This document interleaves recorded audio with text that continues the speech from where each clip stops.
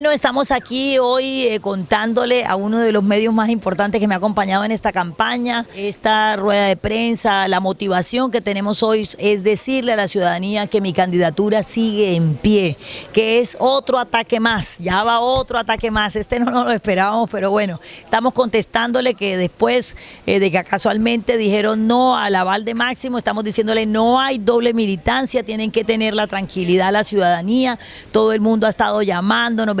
no, tranquilo, vamos por el cambio, este es el momento de que el gobierno del cambio va a estar en el departamento del Atlántico, realmente están asustados, es evidente que están asustados, eh, tenemos la notificación de 8.195 cédulas en soledad inscritas que fueron dadas de baja, adicional a eso hoy pues estoy haciendo unas denuncias diciéndole a la policía, a la fiscalía y a la procuraduría y al MOE que de carácter urgente eh, se movilicen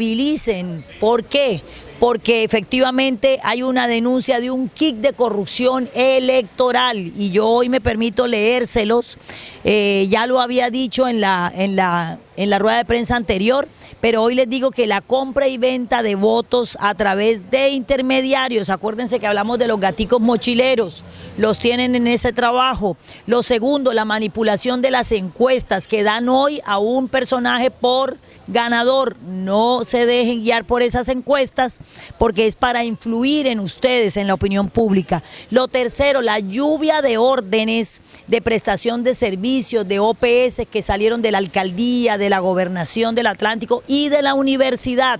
del Atlántico, donde están presionando y diciéndole, bueno, pilas para que después de que se acabe la ley de garantía vuelva y te renueve la orden de servicio. Entonces le estamos diciendo a la ciudadanía estas alertas. Y la cuarta, que es la que más nos tiene un poco preocupados, es que tenemos la información eh, de funcionarios de la registraduría que se quieren mantener en reserva, que nos dicen que están fraguando, eh, están fraguando casualmente que hagan una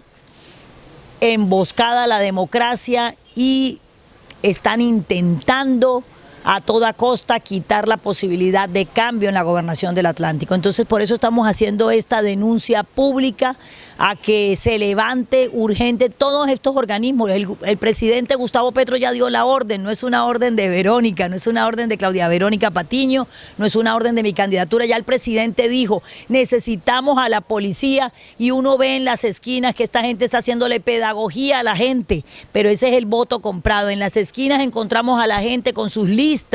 y sus macheticos y todo diciéndole cómo tiene que votar. Entonces es importante que eh, estas fuerzas eh, que deben hacer ese control para que la democracia sea efectiva. Pienso que hoy es necesario que la gobernación del Atlántico eh, y el Atlántico el, el domingo 29 de octubre haga un quiebre, hagamos una fractura con esta corrupción que nos quiere acabar eh, el erario público, los presupuestos, vienen convenios como por más de 6 billones de pesos. Les estamos haciendo el llamado a que es una alerta, están detrás de las concesiones, detrás de estos contratos y eh, nuestro, nuestra candidatura se levanta como una esperanza. Recuerden que soy la única mujer en el tarjetón por Fuerza Ciudadana. Fuerza Ciudadana ha sido perseguida perseguida por este clan del charismo en la región Caribe y pues por supuesto este es un asalto hoy que hacen al tema de la doble militancia. Tengo la completa tranquilidad, tengo todos mis documentos, ya los abogados revisaron todo lo respectivo, así que seguimos adelante y el domingo vamos a tener la victoria. Gracias a Dios la vamos a tener a Jesucristo y al pueblo, a ustedes que son nuestros jefes. Muchas gracias.